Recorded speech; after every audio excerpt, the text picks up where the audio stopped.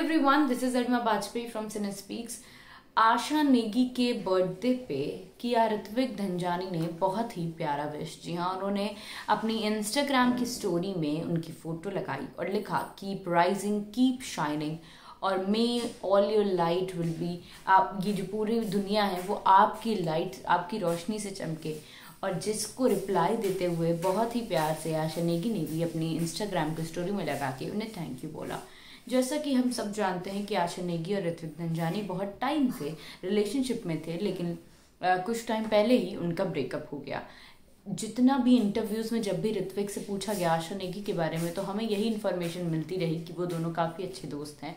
और अभी भी एक दूसरे से कम्युनिकेशन रखते हैं। एंड उनका बहुत ही अच्छी अंडरस्टैंडिंग के साथ ब्रेकअप हुआ है। और ऐसा जैसा कि हमें सोशल मीडिया के थ्रू देखने को मिलता है ये भी कुछ ऐसा ही है जहाँ पे हम देख पाते हैं कि ऋत्विक धनजानी विश करते हैं आशा नेगी को उनके बर्थडे पे। Thank you so much